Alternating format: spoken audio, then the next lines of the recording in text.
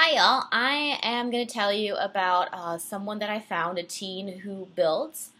I was Googling some brilliant teenagers, and I came ac- across this kid, uh, Boyan Slat. He's a 20 year old Dutch native, and um, he has created a machine that's going to help clean the oceans. The oceans have a lot of plastic and debris and garbage them, in them right now and it's bad for the ocean life, which means it's bad for us because the oceans are really crucial to our ecosystems. So this kid Boyan has made a machine that's gonna um, help clean the oceans. It's these little tiny skimmers.